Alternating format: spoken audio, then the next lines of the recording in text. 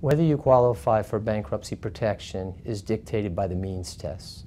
You need to seek the advice of an attorney to determine whether or not you can qualify for either Chapter 7, which is a complete liquidation of debt, or a consolidation plan under a Chapter 13.